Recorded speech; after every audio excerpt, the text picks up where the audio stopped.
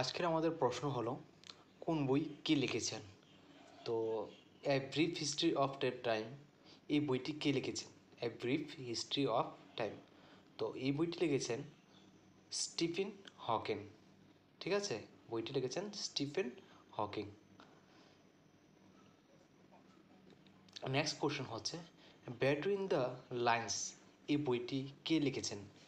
ব্যাটুইন the lines এই বইটি লিখেছেন কুলদীপ নায়ার।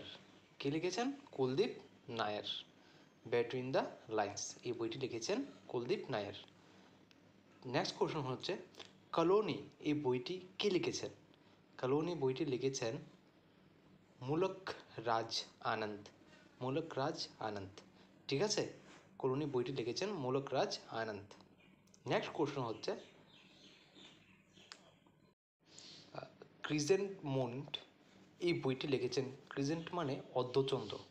মন অর্ধচাঁদ তোমরা তো জানো, এই বইটি লিখেছেন কে? রবীন্দ্রনাথ ট্যাগোর। ঠিক আছে?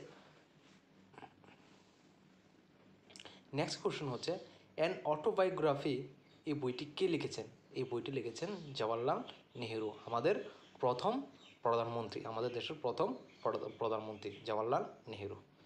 নেক্সট কোশ্চেন হচ্ছে বার্ড অ্যান্ড বেস্ট এই বইটি কে লিখেছেন?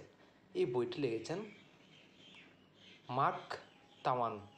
ঠিক আছে? মার্ক তাওয়ান এই বইটি লিখেছেন bird and best next question হচ্ছে, এটা সব থেকে ইম্পর্টেন্ট দুই হাজার আঠারোর জিডি আর্মির জিডির মধ্যে এই কোশ্চেনটা জিজ্ঞেস করা হয়েছে যে, গুড, এই বইটি কী লিখেছেন? তো এই বই এই বইটি লিখেছেন আর কে? নারায়ণ। ঠিক আছে?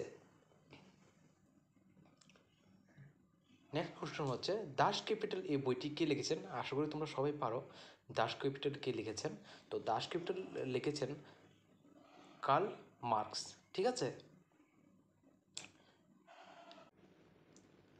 ডার্কনেস অ্যাট নুন এই বইটি কে লিখেছেন? ডার্কনেস অ্যাট নুন এই বইটি কে লিখেছেন?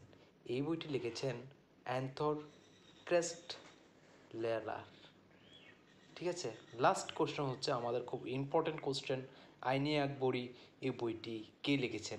আইনি আকবরি বইটি লিখেছেন আবুল ফাজল। ঠিক আছে? মনে রাখবে।